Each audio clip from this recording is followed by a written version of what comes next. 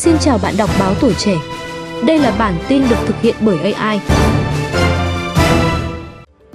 Sau đây là những tin tức thời sự mà chúng tôi vừa cập nhật sáng ngày 5 tháng 12.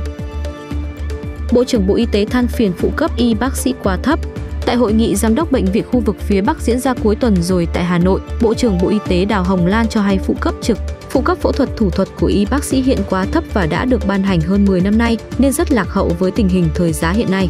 Cũng theo bà Lan, Bộ Y tế đã đề nghị sửa mức phụ cấp này thì các bộ ngành liên quan cho rằng sẽ sửa tổng thể cùng xử về mức lương. Vì vậy, y bác sĩ vẫn phải chờ với mức phụ cấp rất thấp hiện nay. Trao đổi với báo giới, đại diện nhiều bệnh viện cho biết phụ cấp hiện rất thấp, phụ cấp trực đêm tại bệnh viện hạng đặc biệt chỉ 115.000 đồng đêm trực. Phụ cấp phẫu thuật ca đại phẫu cũng chỉ vài trăm ngàn đồng, rất thấp so với lao động và thời gian học, thực tập của thầy thuốc.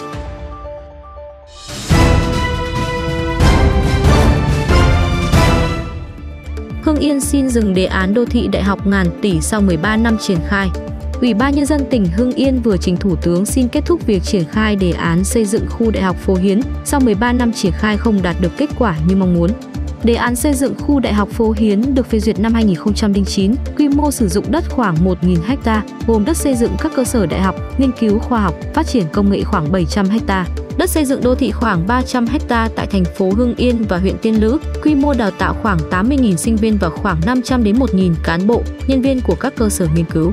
Về nguồn vốn đầu tư, khu Đại học Phố Hiến theo phê duyệt ban đầu có chi phí giải phóng mặt bằng, xây dựng hạ tầng kỹ thuật chung khoảng 5.530 tỷ đồng. Trong đó, tiền thu từ đấu giá quyền sử dụng 300 ha đất đô thị trong khu đô thị đại học khoảng 4.800 tỷ đồng, vốn ngân sách nhà nước và các nguồn huy động khác 730 tỷ đồng. Thời gian thực hiện đề án theo phê duyệt từ năm 2009 đến 2020, tuy nhiên đến nay khu đô thị đại học này chỉ hoàn thành được một số tuyến đường trục chính theo quy hoạch. Trong số hơn chục trường đại học dự kiến chuyển về xây dựng cơ sở đào tạo tại khu Đại học Phố Hiến như Trường Đại học Bách khoa Hà Nội, Trường Đại học Nông nghiệp 1, Trường Đại học Công đoàn, Trường Đại học Mỹ thuật Công nghiệp, Học viện Ngân hàng, Trường Đại học Ngoại thương. Chỉ có hai trường về đầu tư xây dựng cơ sở đào tạo tại khu Đại học Phố Hiến là Trường Đại học Chu Văn An và Trường Đại học Thủy Lợi. Bên cạnh đó, có 4 khu dân cư đã được xây dựng trong khu Đại học Phố Hiến. Từ tình hình triển khai xây dựng khu Đại học Phố Hiến quá chậm, không phát huy hiệu quả như mục tiêu đề ra, Hưng Yên kiến nghị Thủ tướng cho dừng thực hiện đề án xây dựng khu Đại học Phố Hiến. Tỉnh cam kết giữ lại 200 ha đất trong khu đại học để tiếp tục nhận các cơ sở giáo dục đại học, nghề nghiệp có nhu cầu xây dựng cơ sở đào tạo, nghiên cứu tại khu Đại học Phố Hiến.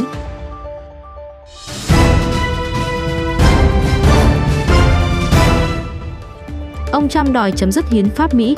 Theo đài CNN, trên mạng xã hội Truth Social hôm thứ Bảy 3 đến 12 giờ địa phương, cựu Tổng thống Mỹ Donald Trump đã kêu gọi chấm dứt bản hiến pháp của Mỹ để lật ngược kết quả của bầu cử Tổng thống năm 2020 và phục hồi quyền lực cho ông.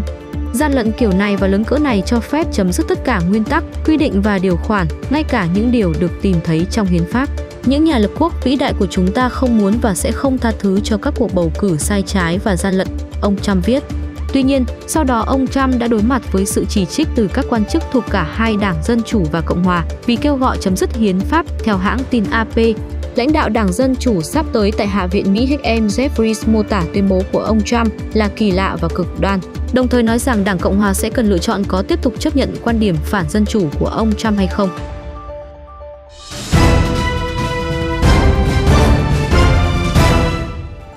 Khoảng 2.500 xác hải cẩu được tìm thấy ở bờ biển Caspi của Nga. Ngày 4 tháng 12, hãng tin AP đưa tin các quan chức Nga cho biết khoảng 2.500 xác hải cẩu đã được tìm thấy trên bờ biển Caspi ở miền Nam Nga.